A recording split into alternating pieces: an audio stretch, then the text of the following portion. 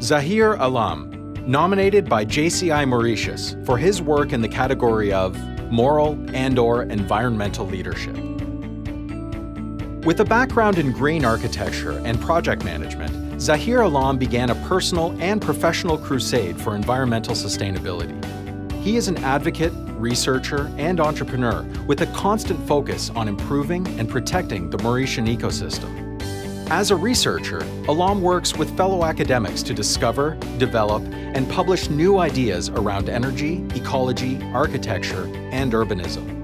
He conducts research in his home country of Mauritius and is also a research associate at the Australia Urban Design Research Centre, sharing his knowledge across borders.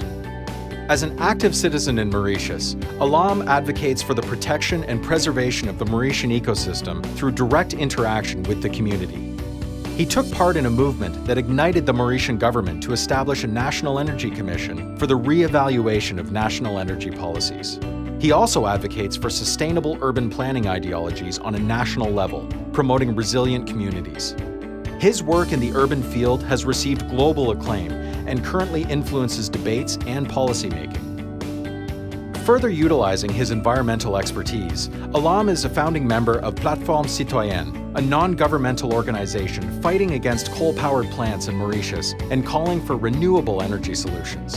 His goal is to eradicate all coal-powered plants from the island. Plateforme Citoyenne is an umbrella organization supporting local NGOs and communities that promote policies to protect the ecosystem his NGO engages the community through marches and educational talks focused on raising awareness about the dangers of coal-powered energy on the economy, environment, and people. Allam ensures the implementation of sustainable solutions to challenges in his home country of Mauritius, while providing a positive example of how to actively protect the environment for engaged citizens worldwide.